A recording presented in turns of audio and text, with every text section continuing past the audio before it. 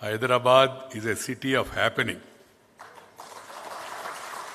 Undoubtedly, it is well connected nationally, internationally, airways, highways, railways, and also you have a wonderful ring road across the city, and you have beautiful entertainment facilities like Ramoji Film City.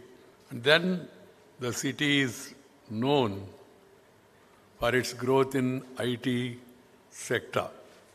So by all means, this is a city of happening.